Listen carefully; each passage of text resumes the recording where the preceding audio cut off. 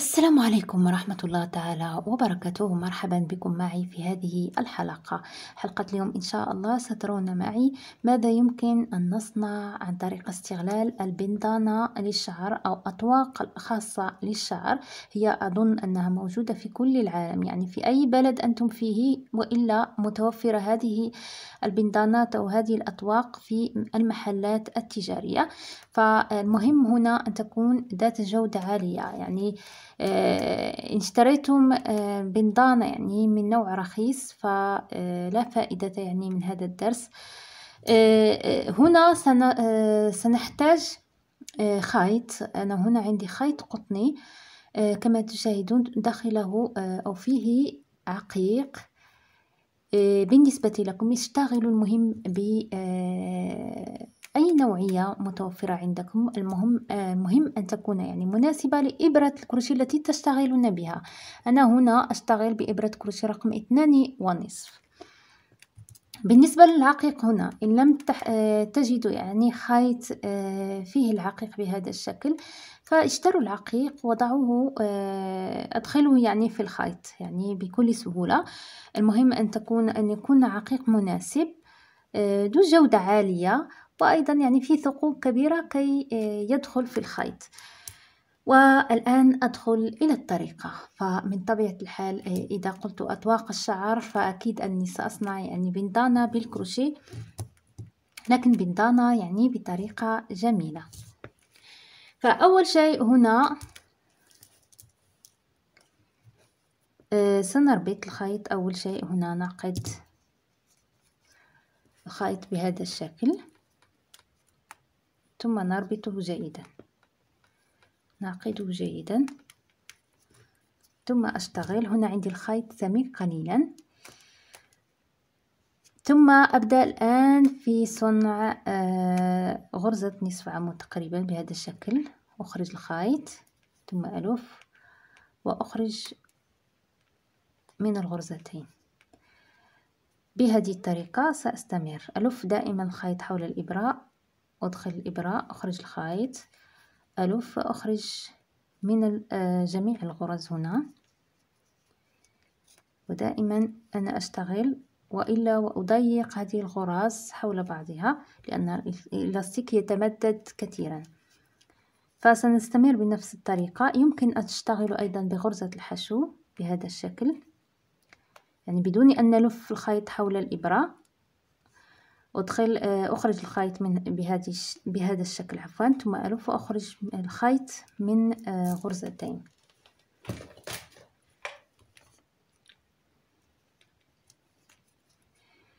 بنفس الطريقة سنشتغل. نستمر بهذا الشكل إلى أن نملأ الدائرة جيدا.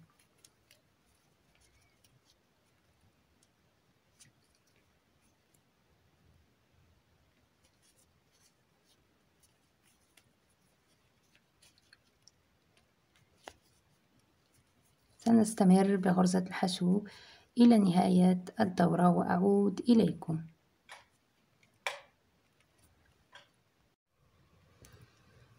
في النهاية هنا. في النهاية أربط بواسطة غرزة منزلقة. ثم أبدأ هنا بالاشتغال. أصنع ثلاثة غرز سلسلة.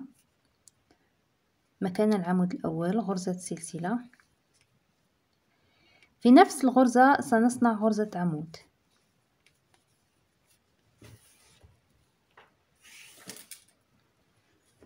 أصنع غرزة سلسلة وأذهب إلى الغرزة الموالية وأصنع فيها آه، أصنع فيها غرزة عمود أيضا.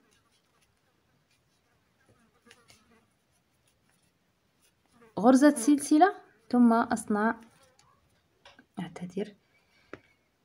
غرزة سلسلة ثم في نفس الغرزة أصنع مرة أخرى غرزة عمود.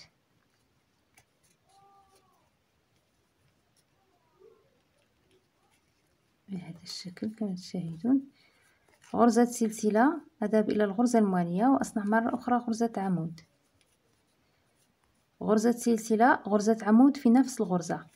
وأستمر بهذه الطريقة بين آه، يعني بين بالتناوب بين غرزة السلسلة وغرزة العمود.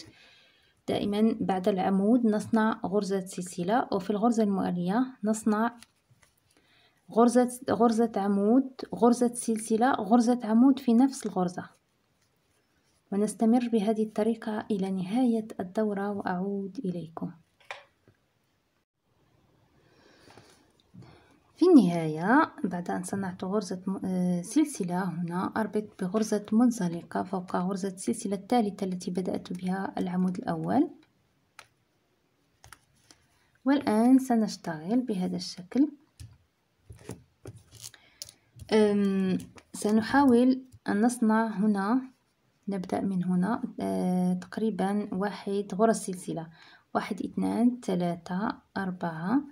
خمسة. خمسة غرز سلسلة. ثم أحاول أن أشتغل في عقيقة واحدة. أضع عقيقة.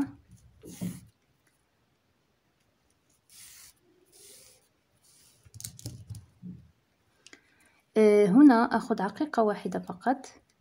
ثم أحاول أن أضعها هكذا في الخلف بهذا الشكل وأشتغل مرة أخرى خمسة غرز سلسلة أخرى. واحد. يمكن تشتغلوا أيضا ثلاثة غرز ثلاثة غرز أو أربعة ليس بالضرورة يعني خمسة.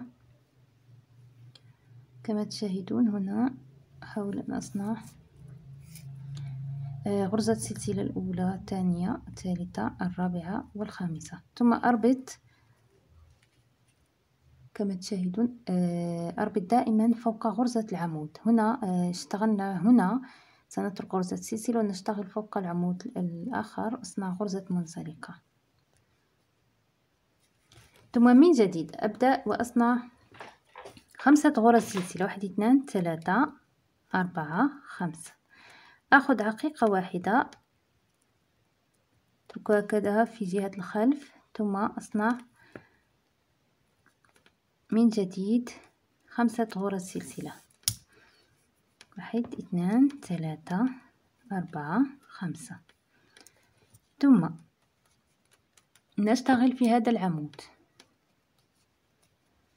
كما تشاهدون اشتغلت قبلا في هذا العمود الآن سأشتغل في هذا العمود هنا وأصنع غرزة منزلقة فيه.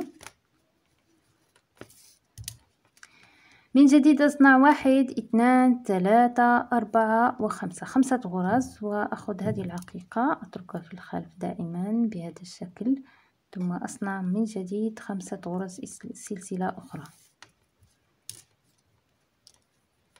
ثلاثة أربعة وخمسة.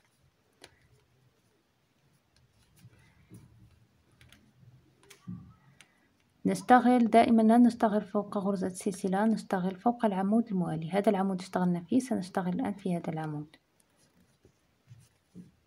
نربط بغرزة منزلقة كما تشاهدون هذا هو الشكل. بهذا الشكل نحصل على هذا الشكل كما تشاهدون. سنتابع بهذه الطريقة إلى نهاية الدورة. دائما نشتغل فوق عمود نترك غرزة سلسلة فارغة ونشتغل فوق العمود الموالي يعني نربط بغرزة منزلقة. في النهاية نربط بواسطة غرزة منزلقة. وصلت تقريبا يعني آخر آخر الدورة الآن ربطت بواسطة غرزة منزلقة وأقطع الخيط. و أحاول أن أزيل الخيط بإبرة خياطة. وهذا هو الشكل النهائي كما تشاهدون. طريقة سهلة آه، جدا وجميلة يعني النتيجة رائعة جدا.